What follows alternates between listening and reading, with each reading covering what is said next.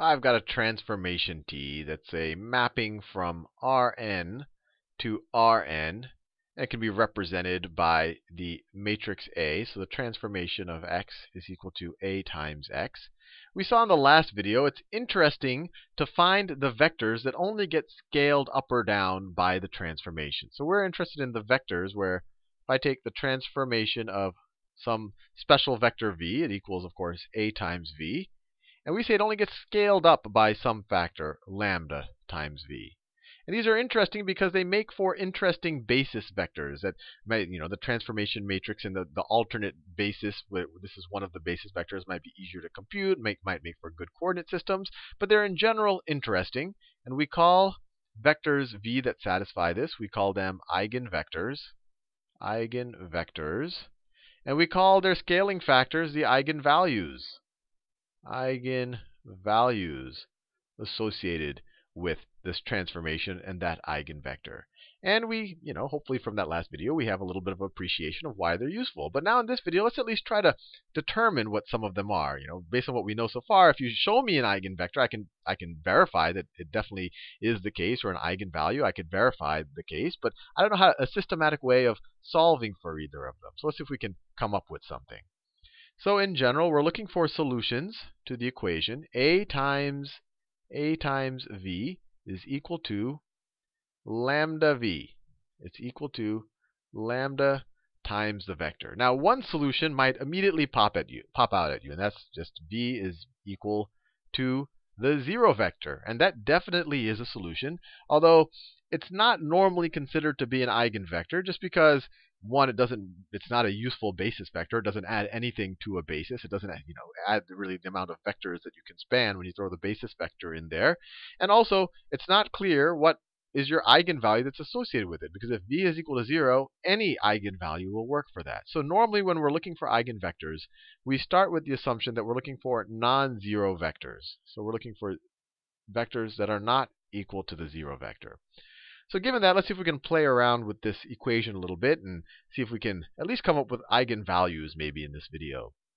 So we subtract AV from both sides, we get the 0 vector is equal to lambda v minus a times v.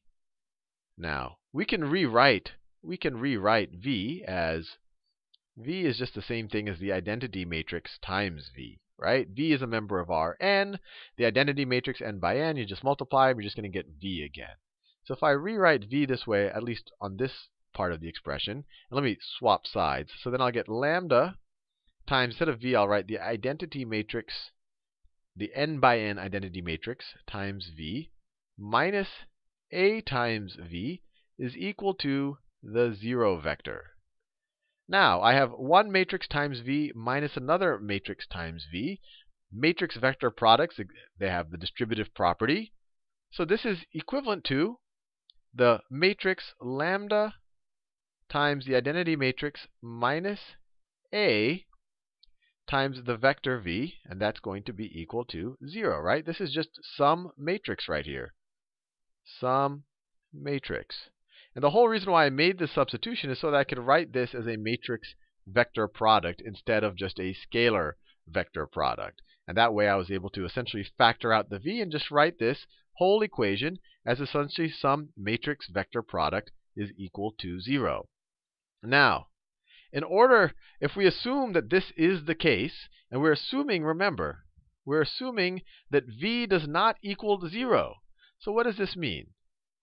So we know that V we know that V is a member of the null space of this matrix right here. Let me write this down. V is a member of the null space of lambda i sub n minus a. I know that might look a little convoluted to you right now, but just, you know, imagine this is just some matrix B. It might make it simpler. This is just some matrix here, right? That's B. Let's make that substitution. Then this equation just becomes B V is equal to 0. Now, if we want to look at the null space of this, the null space of B, the null space of B is all of the vectors x that are a member of Rn such that b times x is equal to 0. Well, v is clearly one of those guys, right? Because b times v is equal to 0. We just came, we're assuming b sol v solves this equation, and that gets us all the way to the assumption that v must solve this equation. And v is not equal to 0. So v is a member of the null space, and this is a non-trivial member of the null space. We already said that the 0 vector is always going to be a member of the null space, and it would make this true. But we're assuming v is non-zero. We're only interested in non-zero eigenvectors, and that means that this guy's null space has to be non-trivial. So this means that the null space of lambda in minus a is non-trivial. Non-trivial. The zero vector is is the only is not the only member. And you might remember before that the only time the only time let me write this in general. If I have some matrix, I don't know if I'll use A and B. Let's say I have some matrix D. D is D's D's columns D's columns are linearly independent if and only if the null space of the null space of D the null space of D only contains the zero vector right? So if we have some matrix here whose null space does not only contain the zero vector, then it has linearly dependent columns. It has linearly dependent columns. So we know that, and I just wrote that there to kind of show you what we do know. And the fact that this one doesn't have a trivial null space tells us that we, we're dealing with linearly dependent columns. So lambda in minus a, it looks all fancy, but this is just a matrix, must have linearly dependent columns. Or another way to say that is, uh, you know, if you have linearly de dependent columns, you're not invertible. You're not invertible. Which also means that your determinant must be equal to 0. All of these are true. If your determinant is equal to 0, you're not going to be invertible. You're not you're going to have linearly dependent columns. If your determinant is equal to 0, then that also means that you have non-trivial non-trivial members in your null space. And so if your determinant is equal to 0, that means there's some lambdas. There's some lambdas for which this is true for non-zero vectors v. So, if there are some solutions, if there are some non-zero vector v's that satisfy this equation, then then this matrix right here must have must have must have a determinant of 0. And it goes the other way. If this guy has a determinant of 0, then there must be, or if there's some lambdas that make this guy have a determinant of 0, then those lambdas are going to satisfy this equation. And you can go the other way. If there's some lambdas that satisfy this, then those lambdas are going to make this matrix have a 0 determinant. So the determinant, let me write this.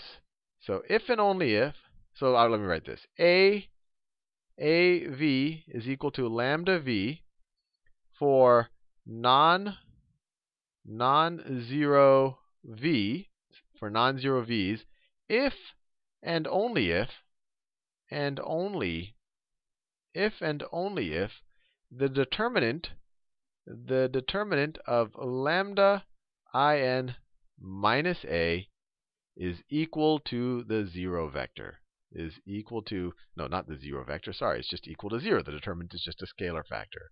And so that's our big takeaway. And I know what you're saying. Now, how is that useful for me, Sal? You know, we did all of this manipulation. and I talked a little bit about the null spaces. And my big takeaway is, is that in order for this to be true for some non-zero vectors v, then lambda has to be some value such that if I take the determinant of lambda times the identity matrix minus a, it has got to be equal to 0. And the reason why this is useful is that you can actually set this equation up for your matrices and then solve for your lambdas. And we're going to do that in the next video.